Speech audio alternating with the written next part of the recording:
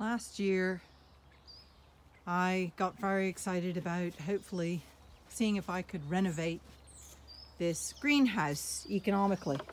I put this gate up so that I could grow things in here. That was the first step. But it turns out to restore this would cost about 10,000 euros. So I decided not to do it. Instead, I made these little hot boxes. This one is full of sweet peas that I'm growing. This is what I could afford to do. These glass panels a friend of mine had sitting in her shed and I got somebody else to make the bottoms. I still have some of these left over to make more.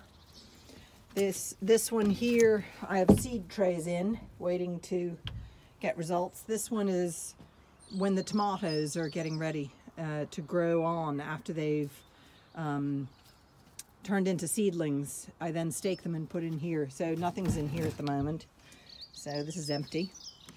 So I'm afraid my uh, progress for this greenhouse has not been very much. This stone is still here. Someday I'll move it to another location because it is kind of big. But that's a huge production and you need lots of people who are strong to move it. And with COVID and everything, you can't get people close together to lift a big stone like that. I've planted in here are fig tree cuttings and um, some columbine. But these are cuttings from fig trees and you can see they're rooting up nicely and budding up. So yeah, you're very helpful, aren't you? So this is all, oh, I should close these. Let the cold air in. No, we want to keep the warm air in. So, and I've got to do this one too. So basically, this is, um, uh, that is not helpful, Inca. That is not helpful.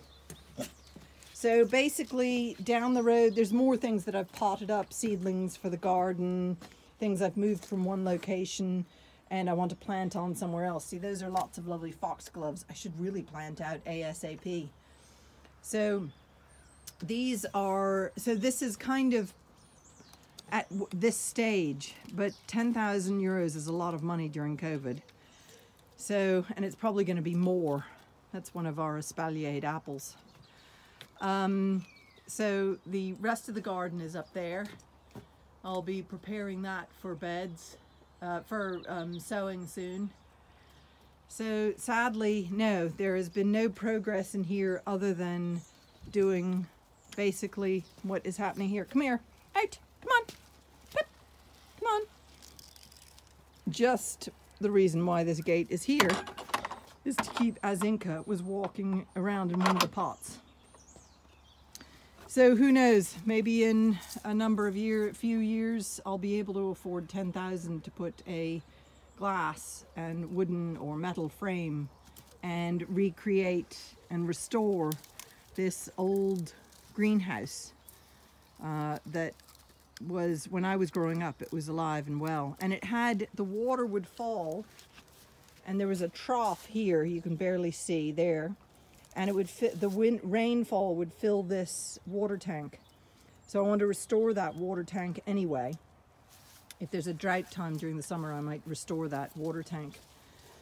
So uh, yeah, sadly, this greenhouse is um, not going to be um, restored as of yet because I can't afford 10,000 euros is a lot of money for a restored greenhouse. And that's probably it probably would cost even more than that. Um, that's only a guesstimate. And I've just been told steel prices have gone up hugely. So it would probably cost 15,000 to restore it. There's no point in doing it as a little mini polytunnel because it just it wouldn't look right so one day if for example if my Patreon page keeps going and building, I might be able to restore this greenhouse. It's an old Victorian greenhouse. So anyway, life goes on and there's other things to do in the garden.